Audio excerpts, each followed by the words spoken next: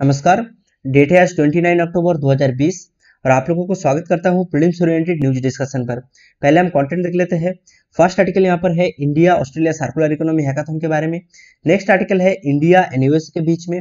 Basic exchange and cooperation agreement sign किया गया है इससे संबंधित। और थर्ड आर्टिकल है इंडिया सेंट्रल एशिया डायलॉग के बारे में।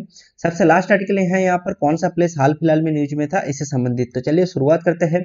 तो पहले देखिए, India, Australia circular economy hackathon संगठित होने वाला है दिसंबर के महीने में। तो ऑर्गेनाइजर कौन कौन सा है? ऑर्गेनाइजर यहाँ पर है auto innovation mission in association with C S I R O total four की थीम है। फ़र्स्ट यहाँ पर की थीम है innovation in packaging reducing packaging waste second की थीम है innovation in food supply chain avoiding waste और third की थीम है creating opportunities for plastic waste reduction और फोर्थ की थीम है recycling critical energy metals and e waste ठीक है? नेक्स्ट आर्टिकल है यहाँ पर बेका के बारे में, क्योंकि इंडिया एंड यूएसए के बीच में basic exchange and cooperation agreement sign किया गया है, ठीक है? तो यहाँ पर पहले से ही डीप मिलिट्री कोऑपरेशन के लिए लिमुआ मतलब कि logistic exchange memorandum of agreement and COMCASA communication compatibility and security agreement sign किया गया था। तो बेका एक न्यू एडिशन है। बेका से इंडिया को मदद क्या मिलने वाला है? बेका से इंडिया को real time access to American geospatial intelligence का मदद मिलने वाला है। इससे जो मिसाइल है और जो ड्रोन से और भी एक्यूरेट हो सकता है, क्योंकि यहाँ पर इंडिया एक्सेस कर सकता है information on map satellite images topographical and aeronautical data इससे नेविगेशन एंड टारगेटिंग और भी मज़बूत हो जाएगा और एक air force to air force cooperation between India and USA next article है India and Central Asia dialogue के बारे में.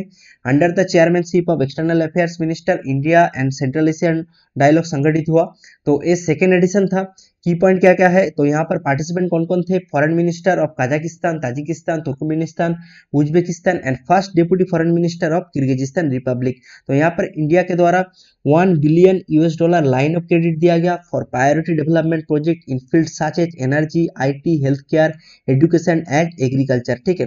तो यहाँ पर मिनिस्टर के द्वारा कहा गया इंडिया के साथ सेंट्रल एशियन कंट्रीज़ का कोऑपरेशन कितना ज़रूरी है कोविड नाइन्टीन से लड़ने के लिए और यहाँ पर इंडिया का जो एफर्ट है छावर पोर्ट को मॉडर्नाइज करने के लिए ये भी अप्रिसिएट किया गया क्योंकि छावर एक क्या है? छावर एक इंपॉर्टेंट लिंक है in trade and transport communication between the markets of Central Asia and South Asia ठीक है? नेक्स्ट आर्टिकल है, कौन सा प्लेस हाल फ़िलहाल में न्यूज़ में है, इससे संबंधित तो यहाँ पर हम डिस्कस करेंगे फेनी ब्रिज के बारे में। तो फेनी ब्रिज एक 1.8 किलोमीटर लॉन्ग ब्रिज है तो एक कनेक्ट करेगा यहाँ पर साबरूम इन इंडिया और रामगढ़ इन बांग्लादेश को, ठीक है? तो ये कंप्लीट हो जाएगा दिसंबर 2020 के अंदर।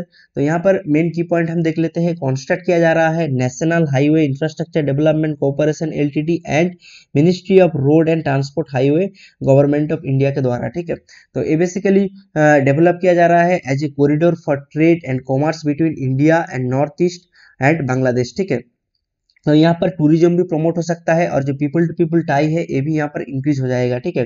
और ये क्या है? एक रोड कनेक्टिविटी प्रोवाइड करेगा between South Tripura and Chittagong ठीक है? तो चिटागोंग एंड साउथ त्रिपुरा के अंदर जो रोड कनेक्टिविटी है, ये भी इससे इंक्रीज हो जाएगा।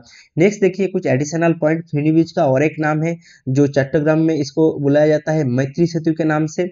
और ये क्या होगा? जो फेनी रिवर है फेनी रिवर कनेक्ट करता है त्रिपुरा एंड चिटागोंग पोर्ट को, ठीक है? Thank you for this